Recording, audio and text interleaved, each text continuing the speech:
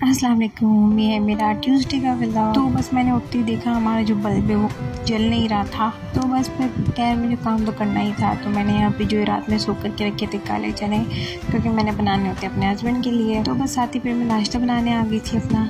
तो मैंने तवा रखा, मैंने पहले सोचा कि मैं अंडा बनाऊँ, लेकिन फिर मैं दिल ज़्यादा अंडा नहीं बनाऊँ। लेकिन फिर भी मैंने जो है ऑमलेट बनाना था, पहले सोचा मैंने, लेकिन मैंने जो है जल्दी वाला अंडा बनाया। मैं अपने अंडे को बिल्कुल हल्के ऑयल में बनाती हूँ तो बिल्कुल हल्का सा ऑयल स्प्रेड करके जो मैंने अपने अंडे को डाल दिया। और फ्लेम को बंद कर देती हूँ मैं और जो है इसको ढक देती हूँ। तो बस यहाँ पे जो है मेरा अंडा बन रहा था, साथ ही मैंने जो है अपनी चाय बनाने रख दी थी। आजकल सारा कुछ भी नहीं खाती है, नाश्ते में मैं जो भी सब बना के दूँ, वो सब ज़ाया कर देती है। तो खैर, लेकिन कुछ ना कुछ तो उसको भी खिलाना ही था तो मैंने सोचा उसको केक और पापी खिला दूँगी। तो बस मैंने इसको ढक के रख दिया और मेरा जो अंडा पक गया था। मैंने इस पर जो एक हरी मिर्ची को बारीक बारीक कट करके जो है इस पर डाल दिया था बीज निकाल के मेरा दिल चाह थोड़ा स्पाइसी खाने का। तो बस यहाँ पे मेरा जो है अंडा ऑलमोस्ट बन गया था और मेरी जो चाय भी रेडी थी। तो मैंने जो है बस जल्दी से अपनी चाय रेडी की। उठने में भी काफ़ी लेट हो गया था आज और मैंने जो है आज अपना जो है केक रेडी करके वो भी डिलीवर करना था।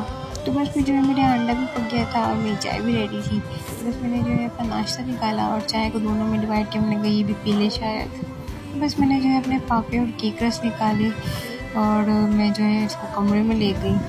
तो मैंने कहा, ये भी खाने में आ जाएँगे। तो बस ये कि नाश्ता हम लोगों ने किया उसके बाद जो मैं आ गई थी अपने केक के और ये मैंने जो मंगवाई थी वेट मशीन इसको मैं ट्राई कर रही थी इस पर वज़न रख रख के।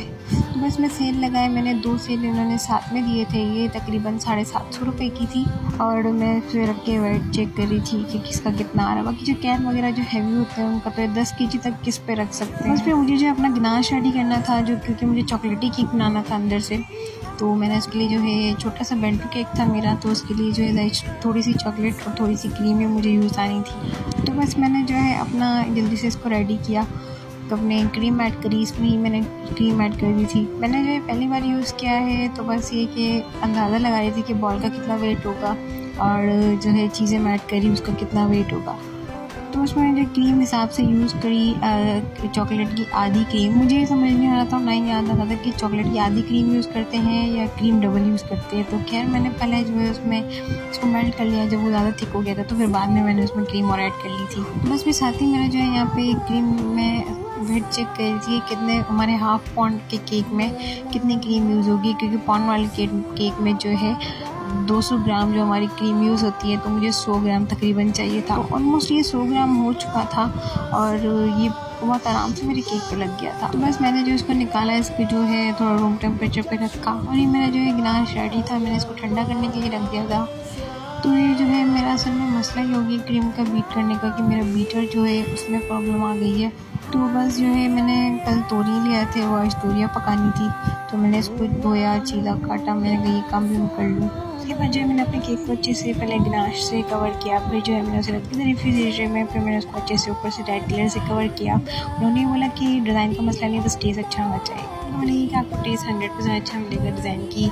थोड़ी सी ऊपर नीचे हो सकता है। डिज़ाइन भी ऑलमोस्ट मैंने वैसे बना के दिया और मैंने अपना लोगो लगाया। बस मैंने जो है अपने वो भी बना के रख लिए थे चने और मेरा खाना भी रेडी था। आज के वक्त इतना ही। थैंक यू फॉर वॉचिंग अल्लाह हाफिज़.